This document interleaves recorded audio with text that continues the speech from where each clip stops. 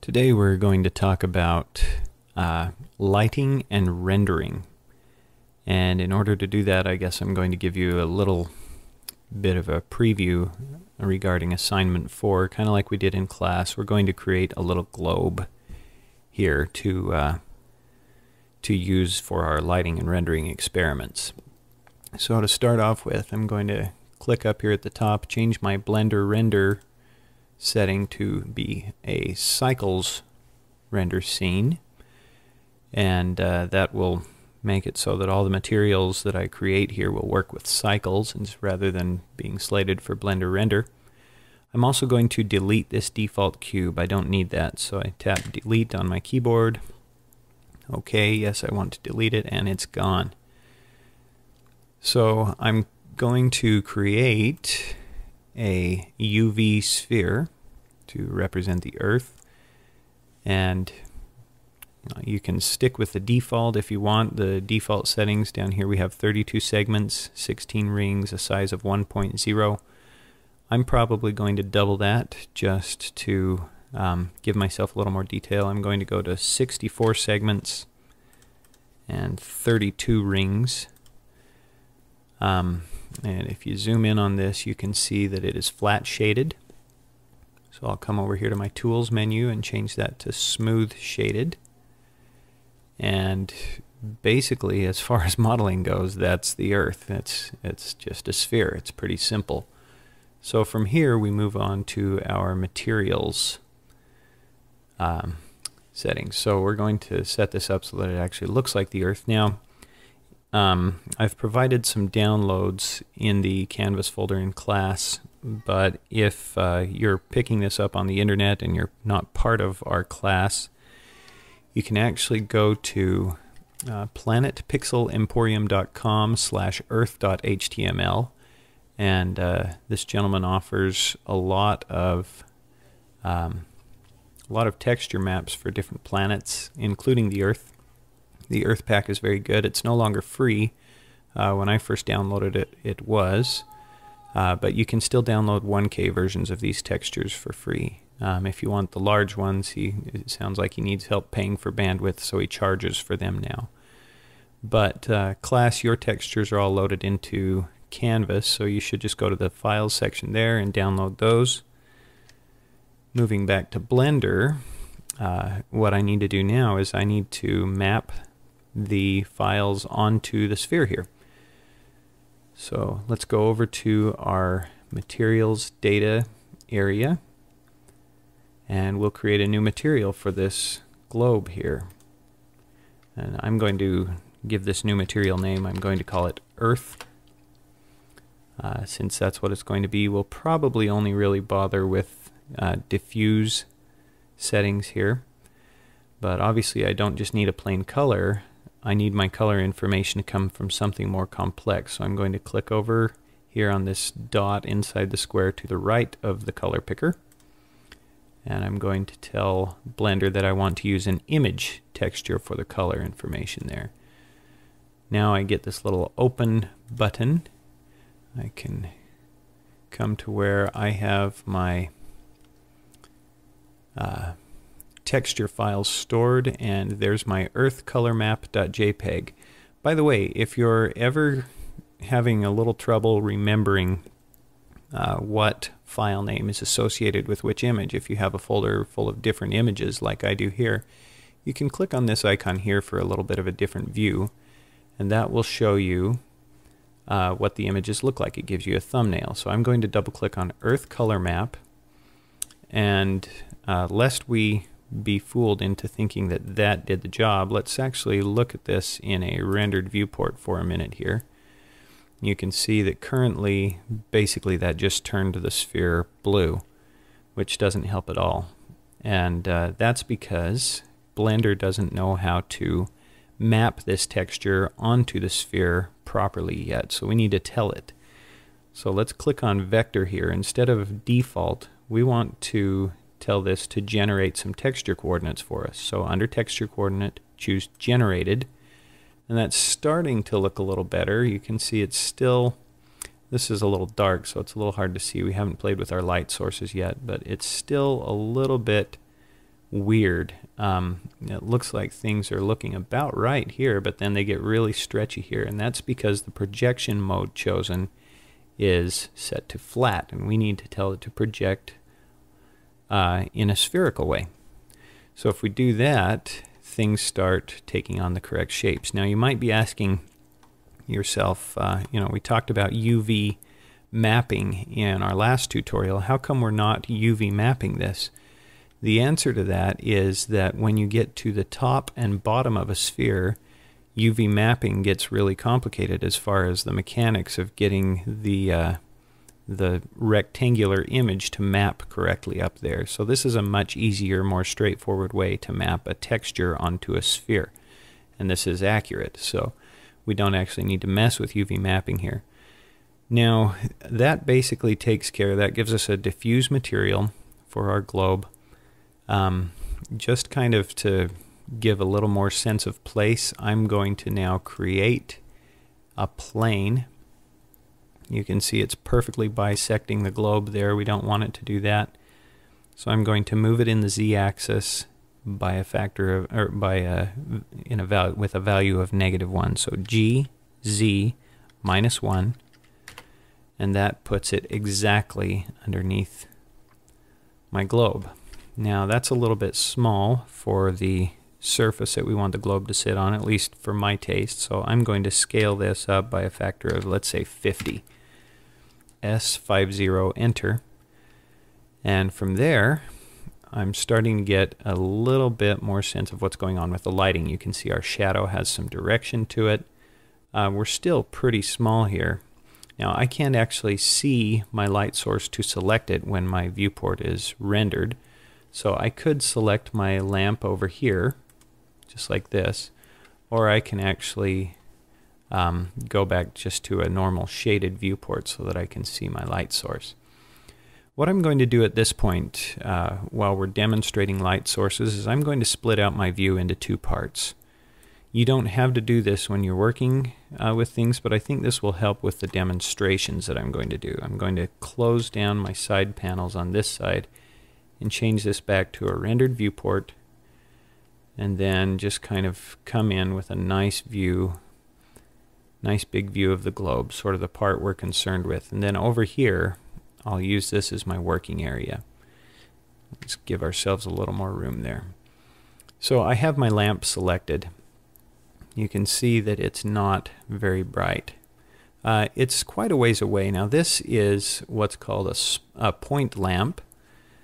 And basically, it just shines equally in a spherical manner. So uh, 360 degrees in 3D space in every direction. It's going to shine uh, its light, and this, in that sense, it's a very simple light to kind of predict and model.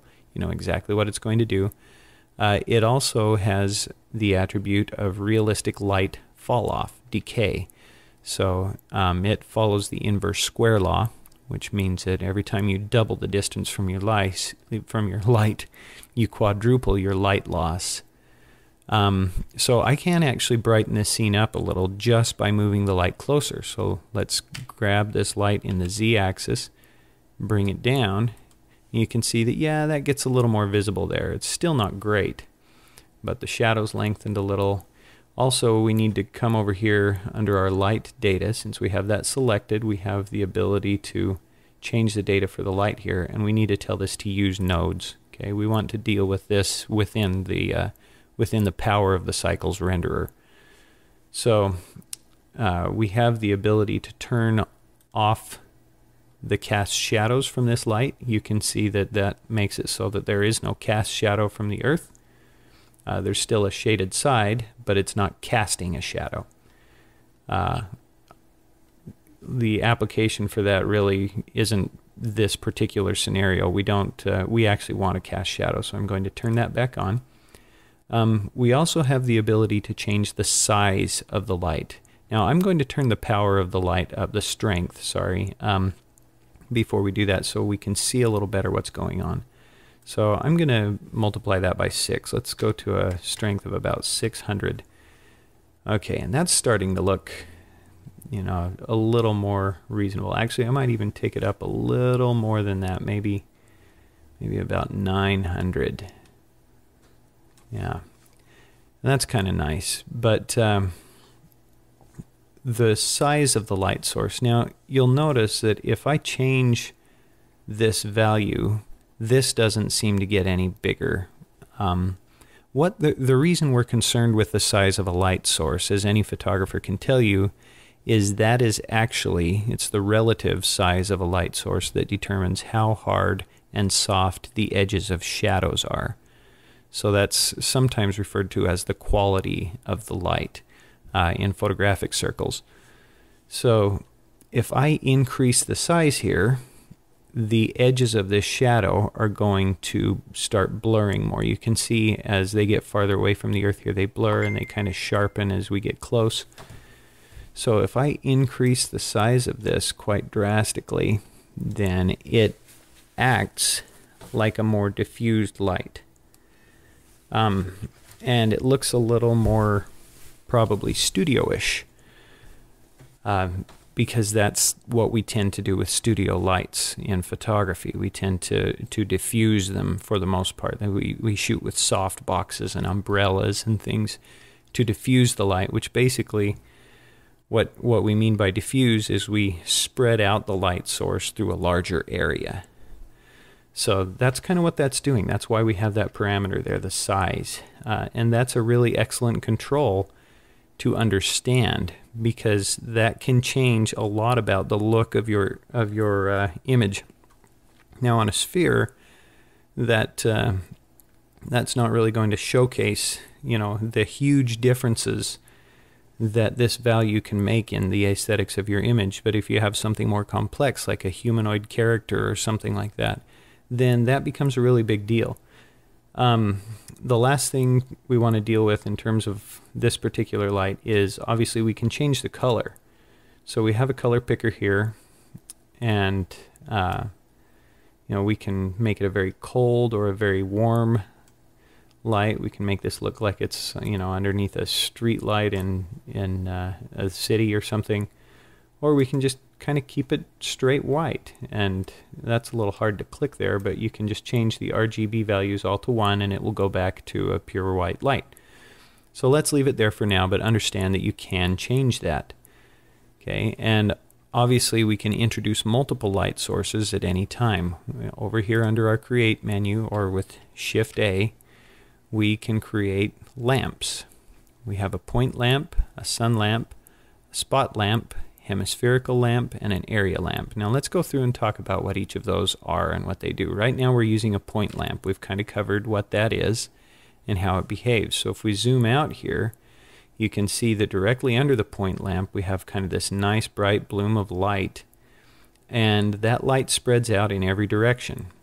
As a matter of fact, if we were to select this plane and duplicate it in the z-axis,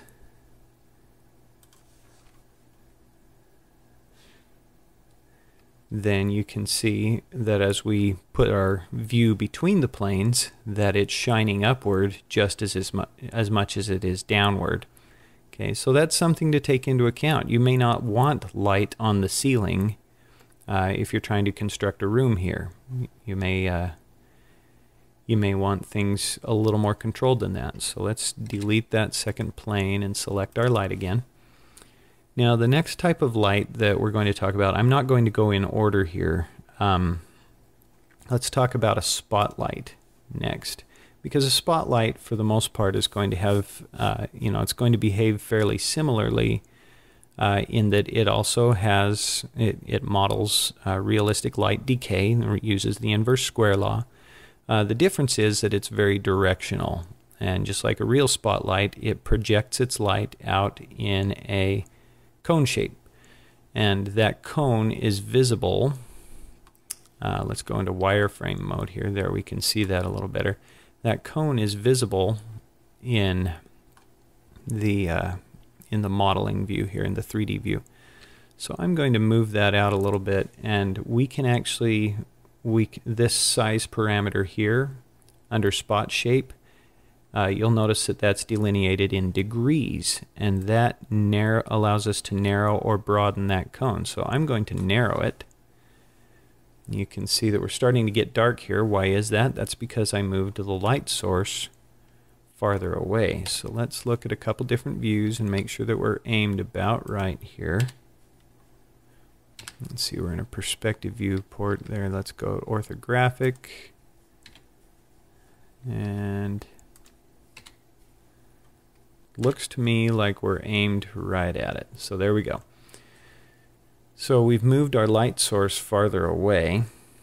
Um, and that has basically made it dimmer. So let's uh, let's increase the power there. I'm going to put that up to maybe 5,000. Whoop. And you can see that that brings the power up a little bit. Eh, maybe some more. Let's go 9,000. There. That's kind of nice. So that's what that size parameter does. And uh, the blend here controls basically how sharp your edges, the edges of your cone are. And I don't tend to get very picky about that one.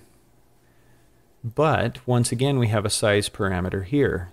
And I can sharpen the shadows of this by increasing or decreasing that parameter. So we have a nice sharp shadow here, sort of like you would on a real stage. Um, again, you have the ability to turn on or off the cast shadows from this particular light. So you could make, I guess, a vampire globe really easily if you wanted there. Uh, is it shadows vampires don't cast or reflections or something? Anyway, I'm not really into that, but uh, but uh, you can you can turn that on or off. So there you go. Um, so that's basically what a spotlight does, and um, you know it it's in other ways it's very similar to a point lamp. It just doesn't shine in all directions. It can be controlled very very precisely. So that can be a good way to model, for instance, car headlights or something like that, or or an actual spotlight if you're uh, modeling something that needs to be on a stage. Okay, the next light we're going to talk about is an area light. And an area light is kind of cool. If we zoom way in on it over here in our 3D view, you can see that it has this square border. And what that does basically, that that border acts like the size, or that border kind of tells us the size. So if we change the size here, that will be reflected by that square shape here. Now this is square, but our shape is actually set to be a rectangle, which basically just means we can control the x and the y size independent of one another so you can see kind of how those work. Um, if you don't want to worry about that, you can just tell it, you know what, I just want it to be a square, give me one size parameter, and assume that I want it to be symmetrical all the way around. So I can change the size, and it will, once again, uh, affect the softness of the shadows. Now, the power on that is, I'd say, a little too high. Let's put that down to 5,000. Ooh, let's say 2500 there we go. That's a good size right there. So you can see that this light is also directional in nature. It has this line that kind of shows us where it's aiming. Uh, we've aimed it right at our globe.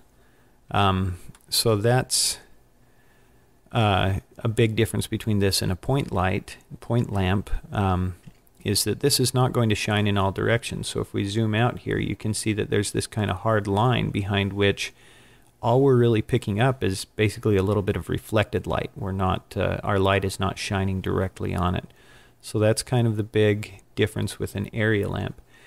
Once again, we can turn on or off the ability to cast shadows. We can play with the size. We can make this a really massive light, giving off a diffused sort of very soft shadows, or we can turn it way down, and uh, and we can make the edges of the shadows quite hard. So that's uh, that's kind of a nice way to look at things there. Um, so a hemispherical light, I'm not going to really cover because uh, when you click on that, Blender basically says it's not supported and it's interpreted as a sun lamp. Now, it does seem to me that it behaves a little bit differently, but uh, I guess I'll take their word for it for now. You can kind of. A, a hemispherical light is actually sort of meant to fake environmental lighting, and with the cycles render renderer, you can actually do um, real environmental lighting. So it's kind of we don't really need to go there as far as hemispherical lamps. Oh, one more thing about the area lamp. Uh, you can also check this box on an area lamp uh, portal, and you can see everything went dark there. Basically, what that checkbox does is it tells Blender, you know what, I don't actually want this uh, lamp to be a light source. I just want you to send more rays there when you're when you're tracing the paths of rays for your cycles render. Uh, when you're tracing the paths, I want you to send more rays in the direction of this area lamp that is actually just a portal. Uh, so, for instance, if you're modeling like a room, a closed room, and you want Blender to pay more attention to the light source that's coming from outside of an actual hole in the wall of the room or, or a window or a doorway or something, uh, it'll do that. And that tends to generate a lot less noise if your sample rate is low um, when you're rendering. So that's kind of a nice trick. Uh, it probably won't really come up in the course of our class, but that's what that's for. So let's turn to a sun lamp. Now you'll notice when I change this lamp into a sun lamp, it kind of has this neat little sun look to it, but everything got really, really bright. Um, the reason that happened is that a sun lamp does not uh, model uh, decay or light fall off. It does not use the inverse square law. Um, that's because on Earth, even though the light from the sun does experience the inverse square law, for instance, you double your distance from the sun, you will quadruple your light loss from it. But the diameter or the circumference of Earth is so small compared to the amount of of uh, space that the light from the sun has actually traveled through to get to us that we will never be able to travel to an appreciable amount of inverse square law decay in the light of the sun. So, from our perception, the sun is basically a non-decaying light source. So, if we're if we want our lamp to act like the sun does on Earth, you check that box and it does not decay. So, um, suddenly our strength of 2500 is really, really bright on our globe model because uh, it every pixel here is lit as if the sun lamp here were perfectly next to it, exactly mathematically next to it, uh, because there is no fall off. So we can turn the strength on that way down. Let's put it to about two, mm, maybe four. There, that's a nice, bright, sunny day. Um, so the position of the sun lamp also doesn't matter. The position does not matter, but the direction does. So rotation, yeah, that that'll make a big difference. Um, but like I say, its position doesn't matter. So you can simulate the rising and setting of the sun if you wanted to animate the rotation of this uh, particular light. But yeah, even if I put this below the ground plane, you can see uh, it's not actually visible in the model anymore because it's below there, but it's still casting its light. That's because the only thing this pays attention to is direction. It is this kind of omnipresent skylight, basically. It acts like a sun. Again, we have the same kind of parameters. We can choose whether or not to cast a shadow. Uh, we can choose the strength and, of course, the color. You know, we can we can make it maybe a little more sunset or sunrise light. We can warm it up a little bit, or we can just leave it as pure white light. And uh, those are basically the types of light sources that we have.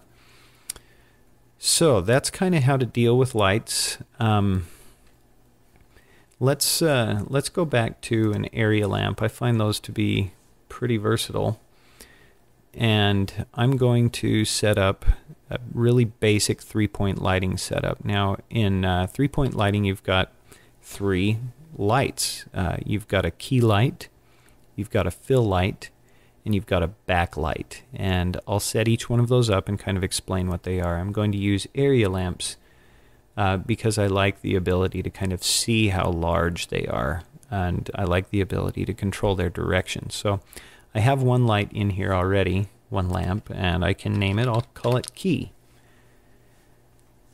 So that's uh, that's oh did I just I did. I named it I put that in the wrong parameter. Sorry. So let's uh, go to the object data here and rename that key. And just to be thorough let's call it key lamp. There we go. Back to its settings. So from a top view basically my camera's here. I'm going to light this globe from the left a little bit. Left from camera left. And uh, move this down a little closer. Kind of aim it right at my globe.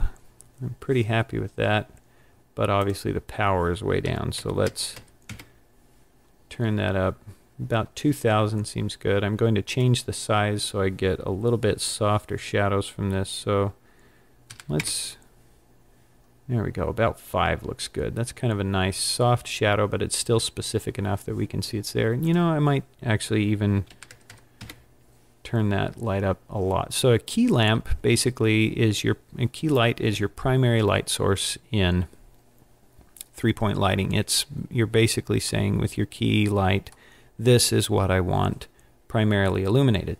So now I'm casting a shadow on the other side.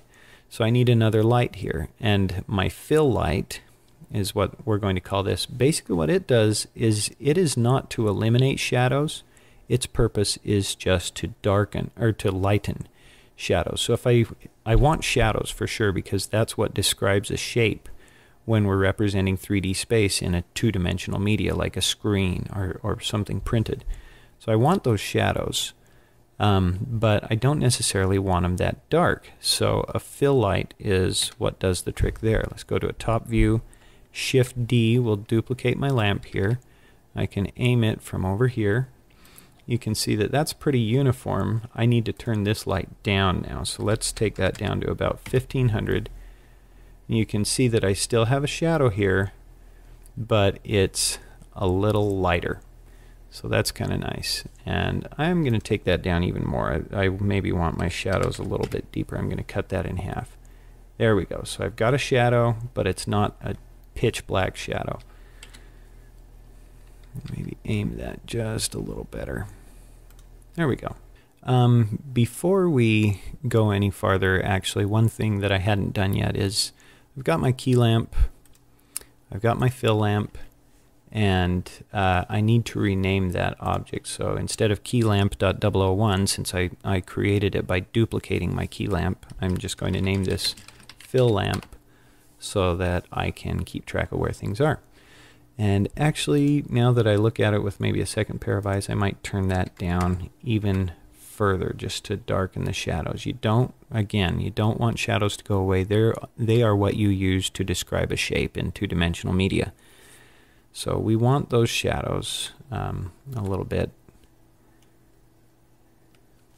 All right, so next step, final step, we need to create our backlight. So in order, that's, uh, that basically needs to be a rim light from the perspective of the camera. So I'm going to tap zero on my numpad to look through my camera here. And let's actually get this camera into the position that we want it in. So if I select the camera, um, I can manipulate that by grabbing it with the G key, or I can rotate it with the R key, but my favorite way to move the camera around is actually to hit Shift F on the keyboard, and that kind of lets me free look with the mouse. Then, just like in a lot of video games, W will move me forward, A moves me backward, and or sorry, S moves me backward and A and D move me left to right. So I can kind of frame things up fairly nicely there. And that looks pretty good. So I just click to commit to that position And then from here, I need to create my third lamp. Now for this third lamp, I think I want to use a spot lamp um, because I don't want it to be quite as general as these other lamps. Even though they are directional, I want to be able to control where this shines a little more carefully. So my spot lamp is probably, yep, existing right in the middle of the globe. So let's move that up in the z-axis just a little bit. You can see I've started to get a little ring of light here. Let's uh, let's narrow the cone somewhat, and actually, uh, there we go. Look at this from our camera perspective over here as well so we can see a little better what we're doing. And let's brighten that up just to give us a little better idea, maybe even brighter than we want it. And you know what actually can be really handy is if I want to solve for just this one variable, it would really help me to get rid of these other two lights. So let's select the key in the fill lamp momentarily and if I tap M on the keyboard it will ask me what layer do you want to move those to? And that's what these are down here. These are representative of the layers that I'm looking at. So tap M and I'm going to move them to layer 2 and that basically just leaves me for the moment with my spot lamp and its effects on my scene so I'm going to go into front view again and basically move this thing whoops I need to select it again. So spot, let's go ahead and rename that while we're here as well. Back lamp. So I'm going to move that backward so that I'm just getting this nice kind of sliver of light up here. And uh, let's see, let's uh, move that in the z-axis to kind of get rid of that spill off onto the onto the floor. Maybe move it forward just a little bit. And you can see that I'm basically moving it either directly toward or directly away from the camera. That's in essence how these particular kinds of lights work. I might want it a little more uh, toward the side toward the shaded side then maybe we'll narrow our cone even more to once again get rid of that spill off onto the floor. We don't want light down there. And that actually looks pretty good. That's basically what I need a back lamp to be doing. So if I go down and look at layer 2 here, now I can grab those two lamps that I banished to the outer limits and tap M on the keyboard and move them back to layer 1. And You don't have to do that, but that's just kind of how uh, that's a helpful tool for me in this particular scenario, just to know how layers work. And that's actually looking about like I want it to look. So you know what, I might darken my fill lamp even more. Let's take it down to about 250 so that we get a little more shadow. And let's Maybe even brighten our key lamp just a touch. There we go. Okay, so as far as rendering goes, we, uh, we have our lights in place now, and we have our camera in position. So rendering is actually a pretty simple proposition. I'm going to collapse this other window here. Um, so this is a rendered viewport. If I go to the render tab over here, then under sampling, there's a very, very, very important setting, and that is the number of samples. So my preview samples are set to 32. You can see that this is tracing sample 30 of 32. What that means is that for every visible pixel here uh, in my rendered viewport, Blender is sending out 32 kind of semi-random uh, rays or paths to see if there is a light visible to that pixel and then it, if there is a light source or a reflected light source or something then it calculates how bright that pixel should be based on the parameters, the color, and, and uh, the shaders and material that I've given it. Um, when you only have 32 samples per pixel, sometimes you will hit a light source and sometimes you won't. So that's why some of these pixels in here appear to disagree with their neighbors. That's basically what that noise is. Uh, there wasn't weren't enough samples there to really get an accurate, a good. It, it's like sending out a survey. You know, the more people you survey, the more confident you can be in your results. So, increasing our samples there, so uh, will actually help us to get a smoother, more consistent result. So the render samples are set to 128, and that's probably a pretty good number. Um, there are a couple of other settings here to pay attention to when rendering a still. Our output, if we want our, our image to go straight to a folder, we can pick that folder here. We can pick the format that we want to render out in. I really like PNG um, because it is lossless compression. Uh, right now we're set to render an alpha channel even though everything in this scene is opaque. So we could actually just pick RGB and be just fine here. Um, our resolution we're set to render 1920 pixels in the x-axis by 1080 pixels in the y-axis, so that's basically an HD TV. But we're only currently set to render 50% of that resolution. That's a scale. So if we don't want to be recalculating the ratio every time, we can just scale it up and down really easily like this. And that's one of the biggest mistakes I see my students make is they'll leave this at 50% when they're supposed to be rendering 100% of that size. So let's increase that. And from there, basically, uh, we are already set to render the camera here. So if we just click render, then this will take a minute, but it will actually render a pretty nice image of what we have created here. Now, since I don't have, uh, since I don't have a specific output directory, it's just set to this temp folder. Uh, what I like to do after this finishes rendering is I'll go down to the image menu here and just click on save as image and then I can save the render result. But this right now gives me a chance to kind of look and say, yeah, that looks the way I wanted it to. I can see my rim light that I set up. That looks pretty good. Things here are basically, I'm pretty happy with how they've come out. You can see that a sampling of 128 is still, there's some coarseness to it. So for a production a production level render, you would probably want a sample rate much higher than that. But this will work for now and uh, it actually looks pretty decent.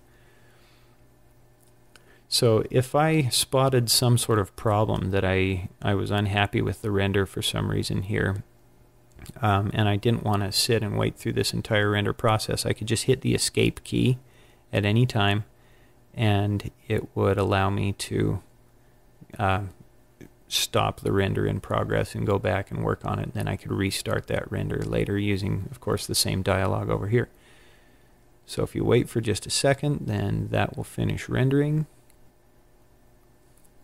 And those outer edges probably won't take too long. They're not terribly complicated. And there we go. So that's our render.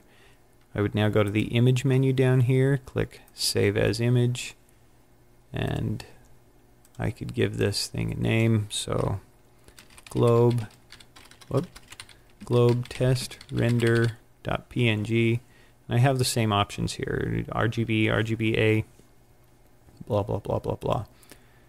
I'm not going to save that out, but I just hit escape, and I get back to my work area here. Now, here's one other thing I want you to know about rendering. So in terms of alpha channels, let's say, let's uh, delete this ground plane here. And let's say I wanted to render out a, a picture of this Earth with an alpha channel. Um, obviously, I would need this setting to be on RGBA, but that's actually not enough. The other thing I need to do is I need to come down here to the film pull down. And it's got this little checkbox that says transparent. If I check that, then you can see suddenly we have the familiar black and white or uh, gray and dark gray checkerboard back here that denotes that there is a transparency there. So at this point, if I were to render out and save my image with it as an RGBA PNG, then it would give me a PNG with transparency that I could then uh, put onto a letterhead or, or composite somewhere else quite easily. It would be anti-aliased. It would be a really nice asset to work with. So basically, that's kind of uh, that's kind of rendering 101, and I hope this helps. And I will see you in class. Thanks.